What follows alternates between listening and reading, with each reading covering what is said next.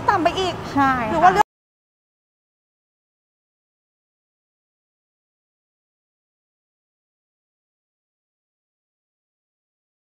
แพ็กเกจของรถกระบะนะคะ รถดอกเบี้ยนี้คือดีที่สุด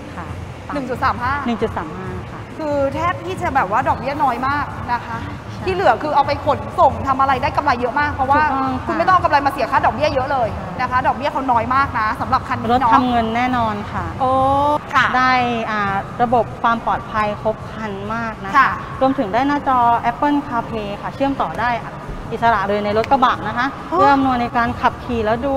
อ่าฟังเพลง เล่นโซเชียลถ้าเกิดได้เทียบกับรถรุ่นก่อนๆนะ กับรถเกี่ยวกับขนส่งเกี่ยวกับใช้งานจะเขาจะฟังไม่ได้มีหน้าจอนะ FM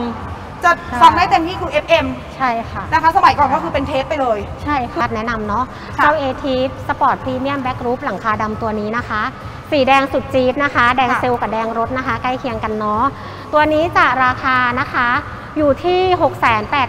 684,000 บาทเท่านั้นนะคะ แล้วก็ด้านหน้าของเรานะคะจะเป็นอ่า